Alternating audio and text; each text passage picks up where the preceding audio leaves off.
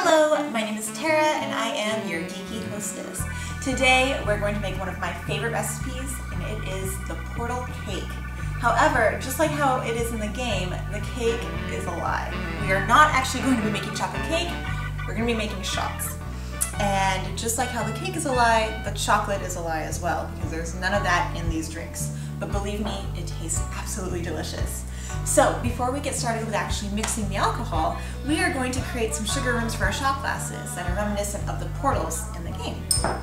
So we made some um, blue and some orange sugars to rim the shot glasses with.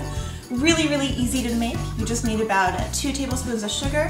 For the blue, we added about three drops of food coloring, and for the orange, we added about one yellow and one red drop of food coloring. You're just going to want to mix that together until the clumps have all um, separated a little bit and it gets back to that sugary, um, that sugary beginning. Grab a lemon first and we're going to cut this up so we can rim the, the glass with some lemon juice. It's going to help that sugar stick a little bit better. Coat that rim with lemon juice. Let a little bit fall out. Just dip it right in your sugar. Voila! For the blue, we're gonna dip it right into this blue sugar right here. I'm gonna roll it around a little bit. Nice and covered. And voila, you have your blue portal.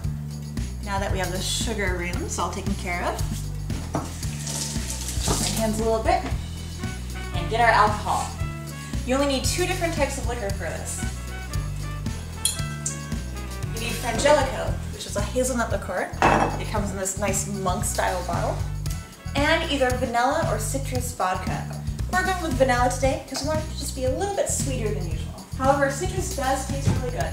Sounds weird, but I swear it does. Now, for mixing these together, you can either pour them straight into the shot glasses or you can mix them a little bit beforehand in a cocktail mixer.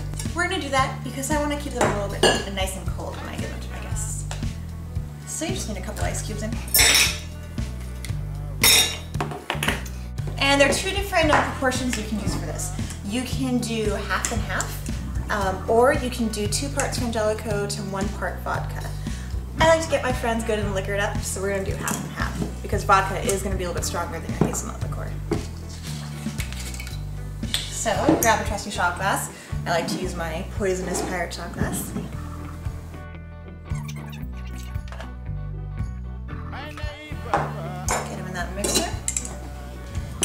Make sure your mixer is nice and tight and closed and keep your hand on the top while you're mixing. You do not want your drink flying everywhere. And then shake. Shake until it's nice and cold everywhere. And then you are ready to pour.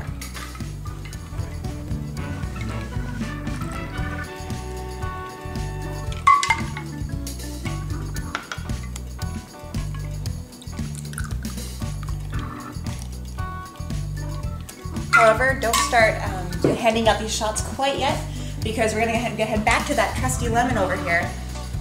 Cut some nice thinner wedges that you can hand out to your friends because they're not just gonna down the shot.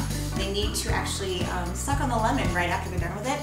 Surprisingly, at that point, that's when the shot's to taste most like chocolate cake. Bottoms up.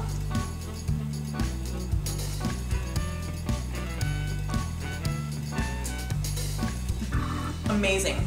And bonus, the sugar is gonna turn your mouth colors. By the time you're about three or four shots in, it's gonna be good times for your whole party.